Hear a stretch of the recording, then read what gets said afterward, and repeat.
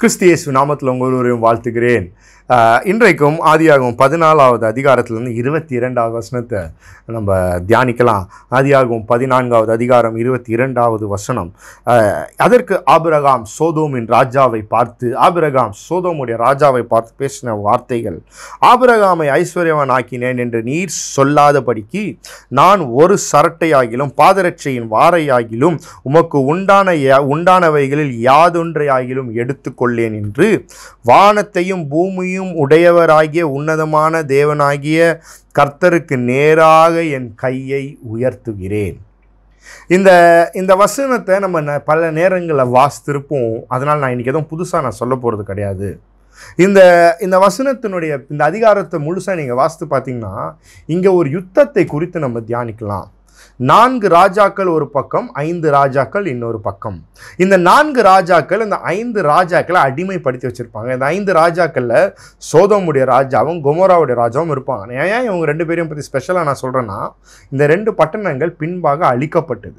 அதுலேயும் இந்த சோதோம் பட்டணத்தில் தான் ஆபிரகாமுடைய உறவினரான லோத்தும் வாழ்ந்தார் இப்போது இந்த இந்த நான்கு ராஜாக்கள் இந்த ஐந்து ராஜாக்களை அதாவது சோதம் குமரா இருந்த ரா இருந்த ராஜ்யங்களை அடிமைத்தனம் படுத்தி வச்சுருந்தாங்க.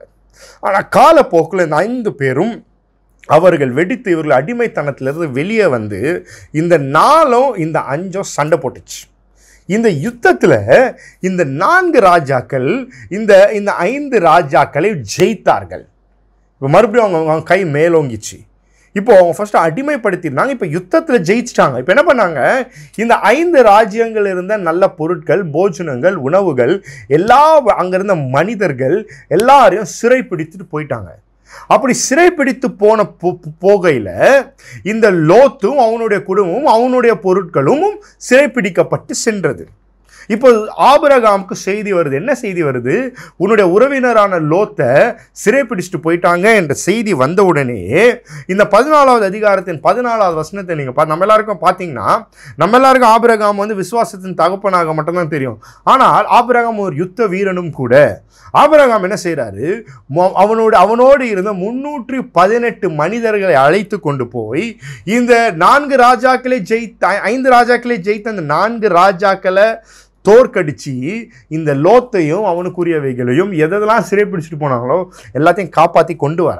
காப்பாற்றி கொண்டு வரும்பொழுது சோதோமுடைய ராஜா எதிர்க்கையில் வந்து எதிராக வந்து இருபத்தி ஓராவது வசனத்தில் சோதோமின் ராஜா ஆபிரகாமை நோக்கி ஜனங்களை எனக்கு தாரும் பொருட்களை நீ எடுத்துக்கொள்ளும். ஒரு நல்ல ஒரு ட்ரேடு நல்ல ஒரு பார்கென் ஜனத்தை எனக்கு தாங்க. பொருட்களை நீ வச்சுக்கோ.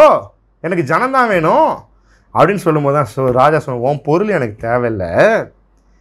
ஒன்னால் நான் ஆசீர்வாதமான ஒன்னால நான் பணக்காரனான பேர் எனக்குமே வரக்கூடாது. ஏன்? இருபத்தி மூணாவது வசனத்தில் என் கை என் கரம் ஒன்றை நோக்கி இல்லை வானத்தையும் பூமியும் உண்டாக்கின தேவனை நோக்கி மாத்திரமே உயர்ந்திருக்கிறது. அன்பானவர்களே இதை ஒன்றை தெரிஞ்சுக்கோங்க. மனுஷனால் நீங்கள் பெரிய ஆளானீங்க மனுஷனுடைய ரெக்கமெண்டேஷனால் உங்களுக்கு பதவி வந்துருச்சு. மனுஷனால் உங்களுடைய வாழ்க்கையின் தரம் உயர்ந்தது என்ற பெருமை என்றைக்குமே மனிதனுக்கு போகக்கூடாது. கர்த்தரால் நான் நான் கர்த்தர் என்னை உயர்த்தினார். கர்த்தரால் எனக்கு மேன்மை கிடைத்தது. கர்த்தரால் எனக்கு இந்த உயர்வு வந்தது. கர்த்தரால் எனக்கு இந்த ப்ரொமோஷன் வந்துச்சு. கர்த்தரால் எனக்கு இந்த ஆசீர்வாதம் வந்துச்சு. அப்படின்னு சொ- அப்படின்னு தான் உலகம் சொல்லணுமே ஒழிய இந்த மனுஷனால் தாங்க இவன் பெரிய ஆளானா? இந்த சோதம் ராஜாவால் தாங்க இவன் பெரிய ஆளானா? இல்லைங்க ஆபிரகாமுடைய சிந்தை எல்லாமே ஒன்று தான் கர்த்தரால் தான் கர்த்தரால் மாத்திரம்தான். இவன் பொருட்கள் எல்லாத்தையும் ரிஜெக்ட் பண்ணிடுறான். ரிஜெக்ட் பண்ண உடனே ஆண்டவர் பேச ஆரம்பிக்கிறார். எப்பப்பெல்லாம் ஆபிரகாம் வந்து சில காரியங்களை வேண்டான்னு சொல்கிறாரோ லோத்தை வேண்டான்னு சொன்னார் ஆண்டவர் பேசினார். இங்கே பொருட்களை வேண்டான்னு சொல்கிறார் ஆண்டவர் பதினைஞ்சாவது அதிகாரத்தில் பார்த்தீங்கன்னா பேச ஆரம்பிக்க என்ன பேசுகிறார் பாருங்கள் முதலாவது வசனம் பாருங்கள் நீ பயப்படாத நான் உனக்கு கேடகமும் உனக்கு மகா பெரிய பலனுமா இருக்கிறேன். பலன் கிடையாது பலன். ஆங்கில வேதாங்கமத்தில் பார்த்தீங்கன்னா I will be your great reward நான் உனக்கு பரிசு பொருளாக இருக்கிறேன். நான் உனக்கு ஆசீர்வாதமாக இருப்பேன்.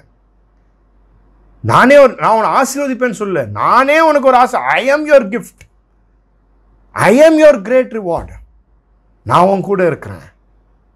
நான் உன்னை நடத்துவேன். நான் உன்னை போஷிப்பேன். நான் உன்னை தாங்குவேன். இன்றைக்கி நம்ம எல்லாருக்கும் முன்னாடி ஒரு கேள்வி. சோதமுடைய ராஜா உங்களை ஆசீர்வதிக்கணுமா? இல்லை வானத்தையும் பூமியும் உண்டாக்கின ராஜா அவங்களை ஆசீர்வதிக்கணுமா? இதில் உங்களை யார் ஆசீர்வதிக்கணும்னு நீங்கள் நினைக்கிறீங்களோ அவங்கள நோக்கி உங்கள் கையை தூக்குங்க. அவங்க தான் உங்களை ஆசீர்வதிப்பாங்க. கர்த்தர் தெய்வம் என்றால் கர்த்தரை சேவி. பாகால் தெய்வம் என்றால் போ பாகால் பின்னாடி போ. அந்த எலியாவின் வார்த்தைகளோடு நான் இந்த தியானத்தை முடிக்கிறேன். நம்முடைய கரங்கள் கர்த்தரையே நோக்கி இருக்கட்டும். கர்த்தரையே சேவிக்கட்டும். கர்த்தரையே நம்ம நடத்துவாராங்க ஆமே ஆமே